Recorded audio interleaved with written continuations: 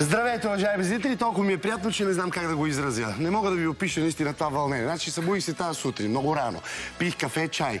После дойдох, дойдох почти на време, за да разбера, че днес ще водя преди обед с една истинска модна икона. Представа Стоянова, за мен чест и удоволствие. Покрай вашата красота мога и аз да намажа. Колко... За тези, които не са разбрали, Деси Стоянова, знам, че ти не обичаш да се изтъкваш, но това е моя работа. А, специално съм взел тази награда от нейната, нейния сейф, тя там ги държи. Разбира се. Тази награда, сега ще ви от нашите зрители, видяхте кадри от церемонията, това е по повод Деси Стоянова, модна икона, жена в България на средна възраст, която а, изглежда великолепно. Те- Категорията е телевизия, разбира се. Ето, Деси, благодаря ти. Аз ти благодаря, Саша. Наистина, да кажем и другите... Първо да кажем, че както нашите зрители много добре знаят, за нашата визия през последните Модната част от 10 иконата.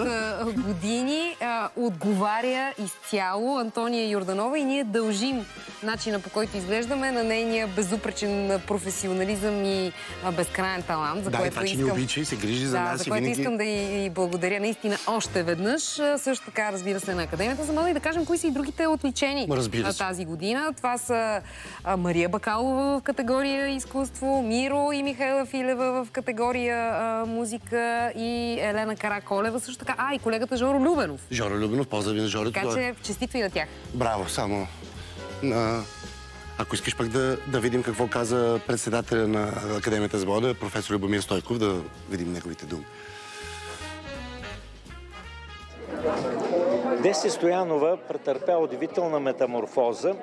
Имам предвид не само стила, но и като рефлексия, като лайфстайл журналист, като телевизионен водещ, защото преди това тя вече се беше утвърдила като един сериозен аналитичен журналист в сферата на политиката, в сферата на обществото. И аз с голям интерес и любопитство съм следял през годините как тя се развива, как еволюира като водеща в една на пръв поглед, поне за нея тогава непривична сфера, прекрасно се разви и се радвам, че има хора като нея.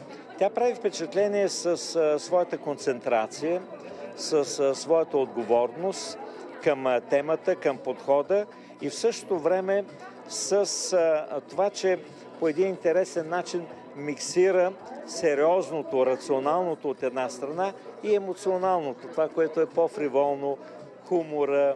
Не може едно лайфстайл предаване без хумор, без изненади, без неочаквани гегове.